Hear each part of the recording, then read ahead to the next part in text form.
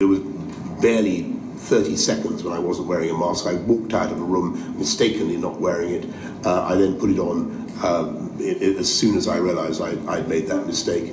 Uh, I apologise for it. Prime Minister, there have been a few incidents in recent weeks uh, at COP and on your visit to Hexham General Hospital uh, where you were pictured without a mask in settings where you might have been expected to wear one.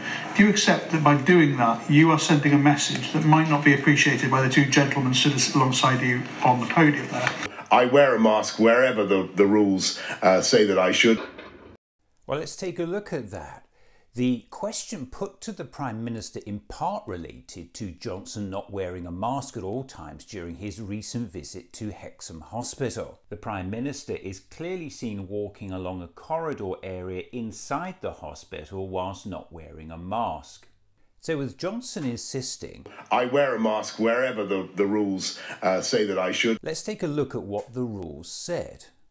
Anyone attending our hospitals and community settings must continue to wear a face covering at all times to protect patients, visitors, and staff.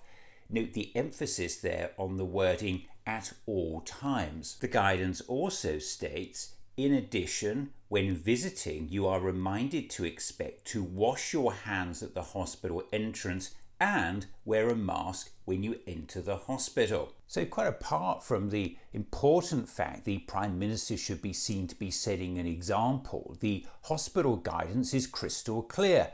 Wear a mask when you enter the hospital and keep it on at all times to protect patients, visitors, and staff. So, when the Prime Minister told the press conference this I wear a mask wherever the, the rules uh, say that I should, it was again talking complete bollocks. Why in some of the pictures do the doctors and nurses have masks on and Boris I don't know. I wasn't, I wasn't there. Uh, actually, I hoped to be there because I did plan to go with him, right. but I had to make a, a statement in Parliament that day uh, on a very important issue. But uh, it's, it's important that we all follow the rules, and the Prime Minister and his team did.